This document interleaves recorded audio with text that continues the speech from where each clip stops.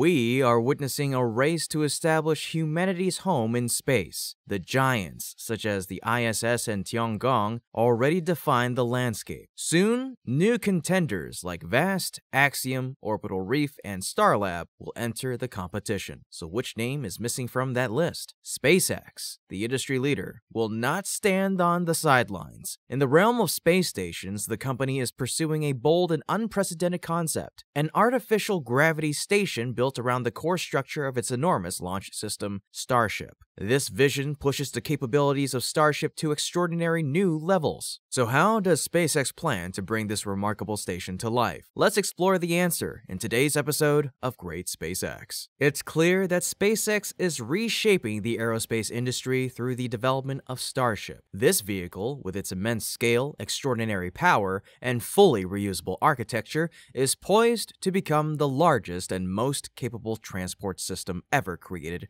for both Earth and space operations. Its design promises extremely high velocities, dramatically reduced costs, and a level of operational frequency that far exceeds anything currently achievable. Because of these capabilities, Starship can support a wide range of functions, including serving as a foundational element for future lunar and Martian bases. However, there is another concept that is equally fascinating. Starship could also become a space station. Is such an idea even feasible? The answer is absolutely yes. A Star Starship configured as a station module would be launched in much the same way as any other spacecraft intended for long-term orbital operations, once in orbit, it would function by continuously circling Earth like a traditional station. SpaceX would equip it with a custom thruster system beforehand to ensure stable orbital maintenance. Meanwhile, all habitation systems, life support infrastructure, and interior outfitting would be constructed directly on Earth, similar to how a crewed Starship is prepared. From an engineering standpoint, converting Starship into a station module is not very different from preparing it for human-rated missions. So what is the motivation behind transforming Starship into a space station. To understand the reasoning, we can begin with basic calculations. The upper stage of Starship stands approximately 50 meters tall and 9 meters in diameter. Out of that total height, the actual habitable section might only occupy the upper 22 meters. Yet even with that limited area, SpaceX could generate roughly 1,400 cubic meters of usable volume by applying the standard formula for the volume of a cylinder. Accounting for the tapered shape of the nose cone, the practical interior space would likely fall between 1100 and 1200 cubic meters. This means that a single Starship could already exceed the entire internal volume of the current International Space Station, which is about a thousand cubic meters. And this is only the beginning. When Starship is treated as a station module rather than a rocket stage, the design becomes far more flexible engineers could remove the propellant tanks, reinforce structural sections, and expand the pressurized interior significantly. By using the full height of an upgraded Starship variant, the available volume could reach more than 3,300 cubic meters in the version 3 configuration with a 52 meter height and more than 3,800 cubic meters in the V4 configuration with a 61 meter height. These figures represent the capacity of just one Starship. A complete Starship-based station would not rely on a single module. Many proposed concepts envision a large rotating system with artificial gravity. In these designs, a central hub is surrounded by multiple multiple starships arranged in a circular formation, each connected to the central module by radial cables. The number of starships in such a configuration could reach into the dozens. When multiplied by the volume of each individual starship, the total pressurized volume becomes extraordinarily large, far surpassing anything built before.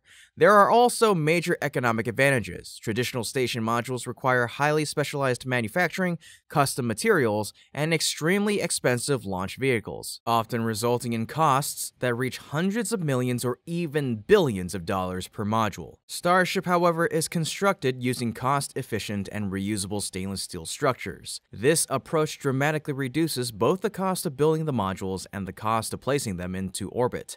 As a result, long-term growth, scalable expansion, and continuous upgrades become far more practical. It's impressive, right? Yet size is only one of the advantages of this concept. The central idea I want to highlight is artificial gravity.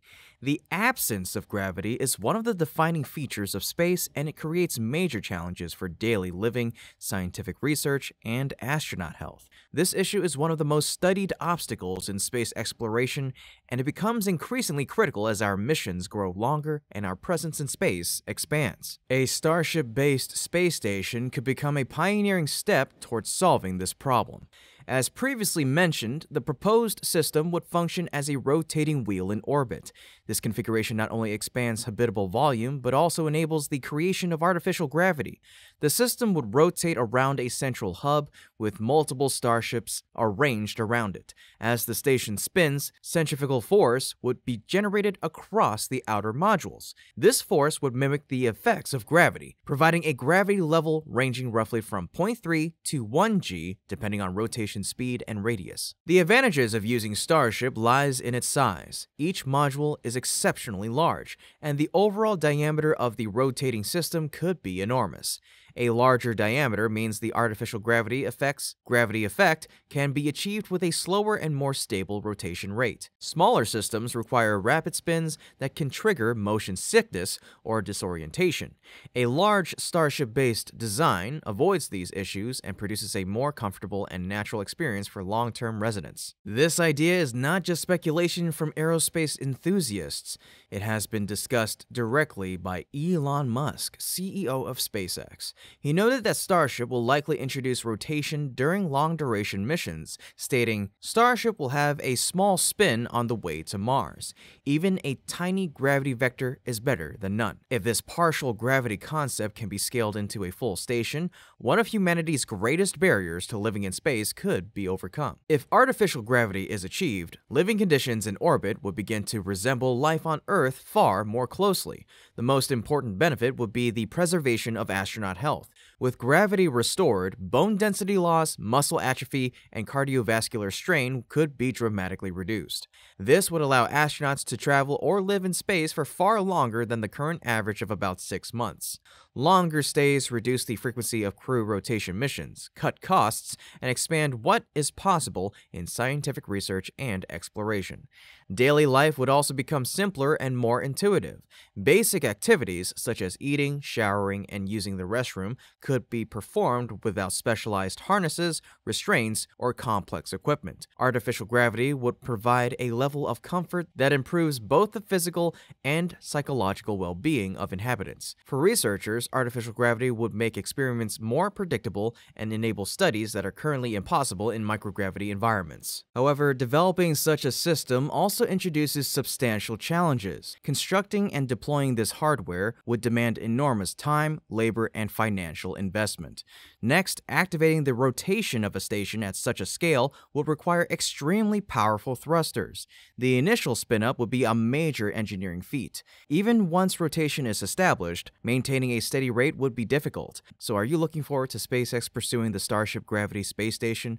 If you're excited about the possibility, feel free to respond with why not in the comment section down below and continue following the unfolding journey of SpaceX's future developments. Now that we have covered the overall structure and operating principles of the Starship based space station, it's time to step inside and examine the systems that will directly support human life in orbit. Because Starship offers an immense internal volume, SpaceX can design living environments capable of accommodating far more people than any previous station.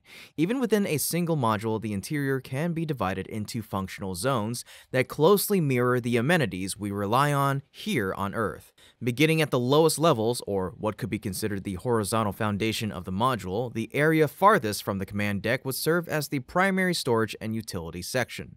This zone would hold tools, maintenance equipment, scientific instruments, and hardware essential for exploration. A portion of the station's supply cargo could also be stored here for easy access. In addition, the essential utility systems for the module, including electrical distribution units, power converters, and water management infrastructure, would be housed in this lower section. Moving upward, we reach the dining area. This section would support the astronauts' daily meals and function as a communal gathering point. The spacious interior also makes it possible to integrate hydroponic or aeroponic gardens, enabling crew members to grow fresh, nutritious produce while in orbit.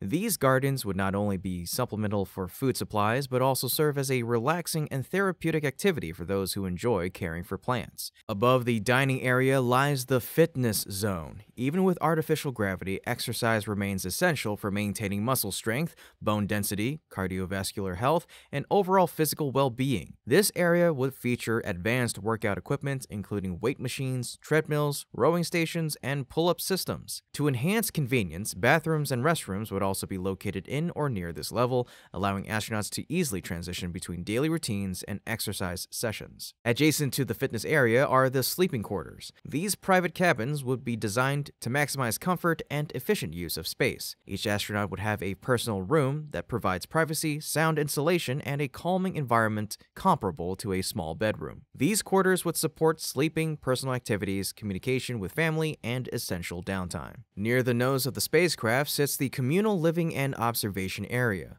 This is where activities involving teamwork, exploration planning, or physical exertion would take place.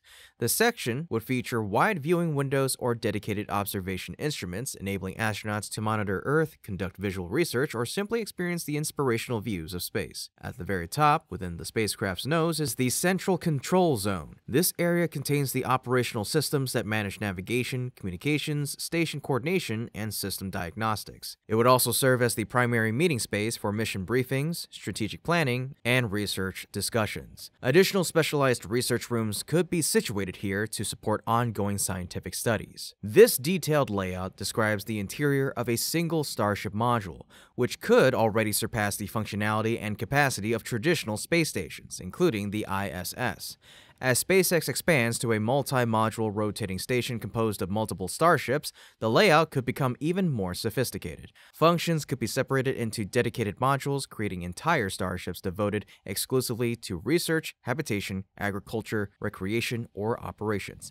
In any configuration, the concept represents a remarkable leap forward. In any case, this has been Kevin with Great SpaceX. Don't forget to like the video and subscribe if you haven't already to stay up to date with yours truly on the latest milestones in SpaceX's journey. Thank you so much for watching, and always remember curiosity, imagination, and inspiration will follow you so long as you keep looking up.